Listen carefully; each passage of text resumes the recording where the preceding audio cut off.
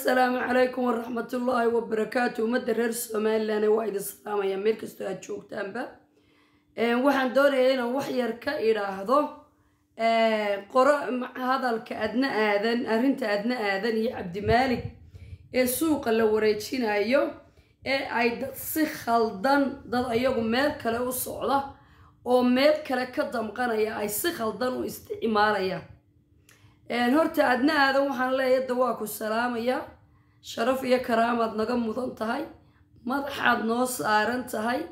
Wixii aad dalkeenna u qabantayna waad ku mahadsantay hase ahaatee ee dadka wadwada adna aadan warkeeda ee reer somalilan ma aha dad adna aadan u hiilinaya.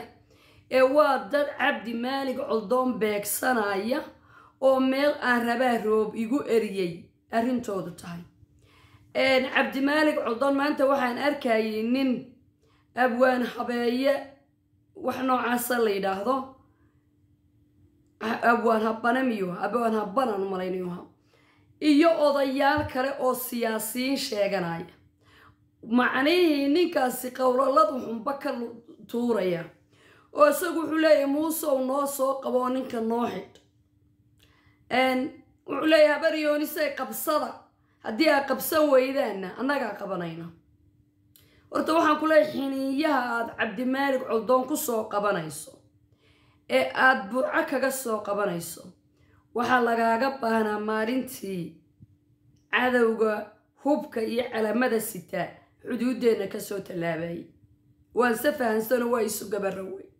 Sokeeyaha loo xoog wen yahay.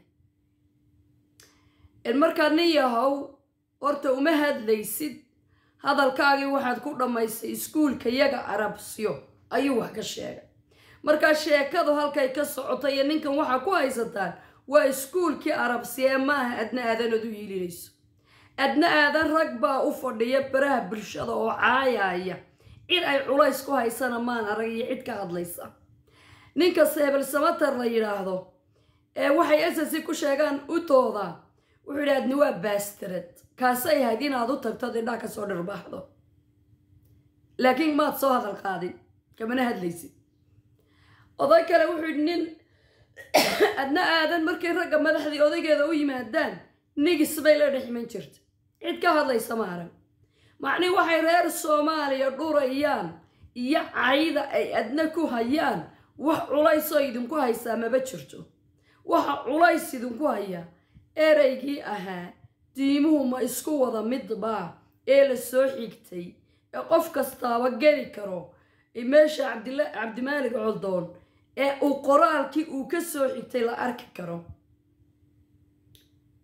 Horta taas weeye maaha uma socotaan adna uhiilinteeda uma socotaan. Cabdimaalig coldoon baa u socotaan waxaana ka daba socotaan. Arrintii abaarso abaarso dadkii meeshaa lahaa iyo wixii macnihii ay sayeen cabdimaalig coldoonba cabdimaalig coldoon saddex sannadood baa laydiin xiray oo xaqdarra ah. Dowladnimadaa idiin hiilisay oo cabdimaalig coldoonna ka hiilisay.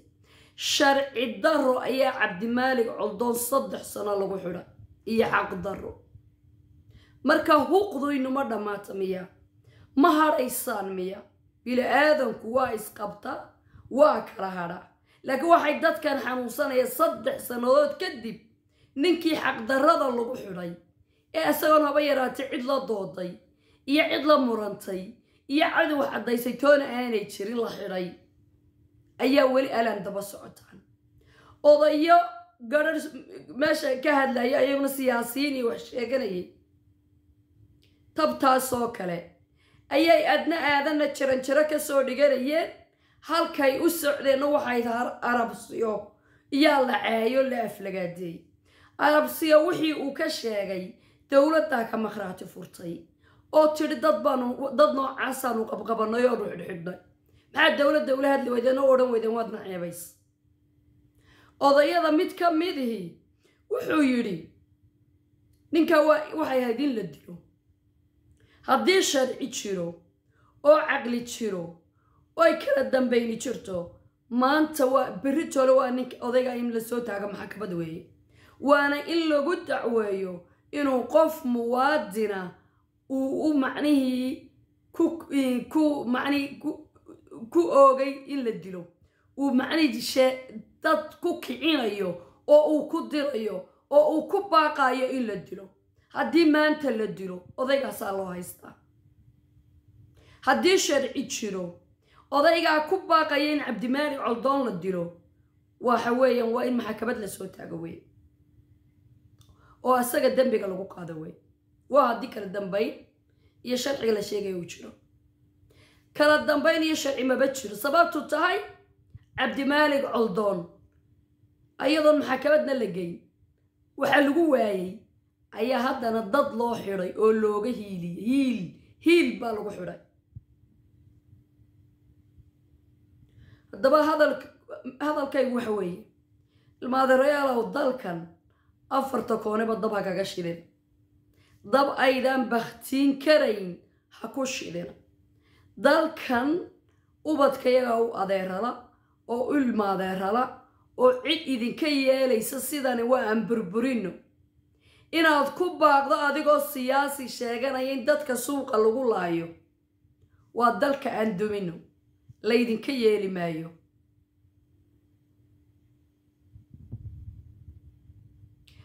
La idinka yeeli maaye waddankan waa in si un la idinka qabtaa. Meeshan haddii sharci ka jiro waa in ummaddan la kala qabtaa cabdimaalik coldoon waxaa ti habaryoonisay qabsada qabsada qabsada waxaanu qabsanayna male.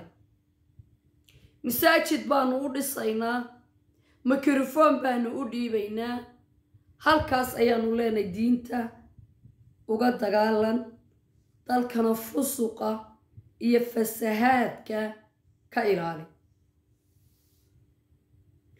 Waddamada gaalada ahaynu joogno ayaa haddii la yidhaa iskuul xumaan waxbaa ka jira la baaritaan lagu sameeya oo haddii xiitaa la yidhaa waxbaa ka dhacay waalidku aanay ubadkooda geynin ee la xidhaa ilaa iyo inta waxa la hubsanayo la baadhaayo idina waxaa rabtaan inaad tidhaahdaan wadaadadu yay hadlin oo yaan diin laga hadlin oo yaan dhaqaale laga hadlin oo yaan waxbaba laga hadlin.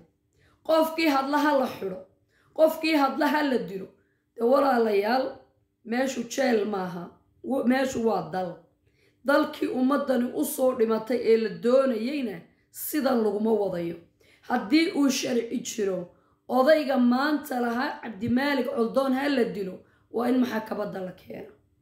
Haddii sharcigu cid gaara qabanayana waa in naloo sheega waa in idin salaamay. Asalaamu calaykum waraxmatullahi wabarakatu